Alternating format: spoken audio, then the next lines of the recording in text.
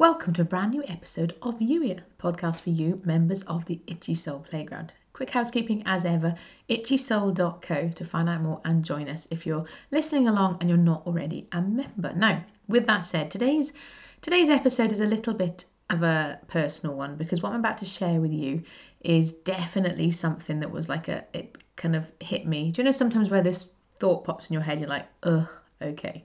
So the title of today's episode is Are You Playing Small? Or where are you playing small? And I want to challenge you to to invite God to ask you to illuminate those either areas of your life or different things that are ahead of you where you're maybe playing small and staying safe. Now the the the context for this episode is uh, is there's a there's a guest post on my list of things. There's a there's a there's a site called Daily PS, and I've oh months ago, I God led me to sign up and, and offer guest posts, and I still haven't written one. And then COVID happened. I used that as an excuse, and then one thing after another. So much so that eventually this week, okay, God, I asked him, what you know, what's the plan? Could you give me some some insights into into moving forward? How can we grow the playground, for example? And guest posting came up again, and the reminder write a post for the daily PS. I'm like, okay, fine. So it's on my list of things to do today. And so, well, not even today, it was on my list of things to do this week was to write a post.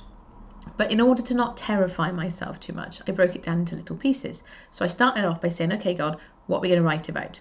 And we had the topic. And I there's um a community like um what's it called Mighty Networks um, platform uh, for this particular site for the, for the writers. So yesterday I proposed.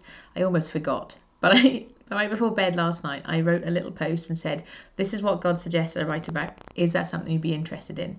And then when I woke up this morning and there was no reply, I'm like, Okay, can't do it today then. and then about an hour or so ago, I had a reply in the positive, an enthusiastic reply saying, Yes, I'd really like to hear that. And I'm like, Oh, okay i need to write it now and i thought yes but of course i need to get the you know get the holy spirit love note down i need to do the podcast and all these other things came up and you know maybe there won't be time and the reality that hit me was actually yet time time we are there is a constraint around time but time is also quite flexible and bendy wendy um, and you know what's that uh, doctor who timey-wimey. It's that flexible stuff. You know we talk about god's timing and sometimes we we say oh it's not in god's timing as if that's a slow thing. But sometimes god's time is really fast. And i've had I, i've given you this example before how five out of six of my quarter one goals were done by the end of january for example. Probably because god knew what was coming up later on in march quite possibly i'm just saying. So god just because we say oh god's timing doesn't necessarily mean it has to be slow it's about paying attention and listening. And the real conviction I got was that, oh, look, you're, yes, I want you to do the podcast, says God. Yes, I want you to write the Holy Spirit love notes and send those out. But those are the things that you enjoy doing. You know how to do them. You're sharing them with people who you are in community with. It's safe. Now, that doesn't mean that safe isn't needed. That doesn't mean that safe isn't valuable. But sometimes God is calling you to, to stretch a little bit and to move outside of your comfort zone. And the really lovely thing about moving outside of your comfort zone, of course, is it really does cause you to go, okay, God, if we're going to do this, I really need you to help me. And so the nudge I got was, look, just get on and write the post. I mean, yes, I am recording this first, but I'm looking at the clock. There is time to do this get it uploaded and sent to you and then I'm going to sit down and write the post. And by all means, check in with me. if you uh, if you listen to this quite soon and you listen to it on Wednesday, by all means check in with me. Ask me how how that's going because that accountability piece can be really valuable. But the reminder that sometimes we we make excuses and we hold ourselves back. Now, you've got to pay attention and and because sometimes that resistance we can feel is God going, whoa, hold your horses. I've given you the example before of the Youier Games. The very first Youier game was recorded, I think, at the end of last year. I can't remember. I know it was definitely before I painted my walls yellow, and so that and that happened in March. Uh, so we actually have a, a very concrete reminder of, of the gap that happened between game one and game two, because last year I recorded the first game, and then I felt this real sort of holding backness from God, as if to say, You've gone too fast for this, El. You're running away and you know you're filling in all the blanks. Let's do this together. That was the message and the reminder I got. So sometimes you are going to feel that holding backness, and that can be God going, okay, not yet.